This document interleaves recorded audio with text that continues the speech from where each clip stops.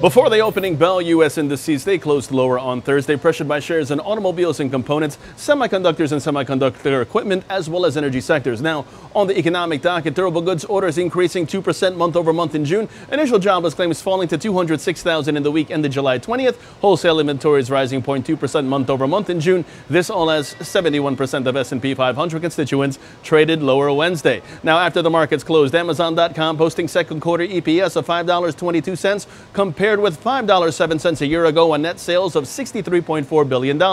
Alphabet reporting second quarter EPS of $14.21 on revenue minus TAC of $31.71 billion.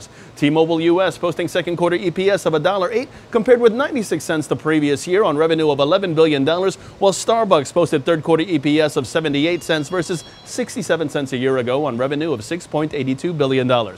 Meanwhile, turning overseas, Asian markets mostly lower today. The Nikkei down 0.45%, the Hang Seng down 0.69%, China's CSI 300 up 0.19%, South Korea's Kospi down 0.4%. European markets edging higher and futures calling for a slightly positive start. Now, in terms of expectations today, McDonald's, Charter Communications, AbbVie, Colgate Palmolive, and Allergan all scheduled for release, while on the economic dock at 8.30 in the morning, we have the second quarter GDP price index quarter over quarter advanced, as well as the second quarter PCE prices also advanced. Taking a look at the markets, the S&P 500 is where we begin. That sees caution. The Nasdaq also sees caution, but that's in focus. The relative strength index mixed and calling for caution. Short positions below 80. 32 are favored with targets at 79.84 and 79.39 in extension, while the Dow Jones sees 26,980 in sight.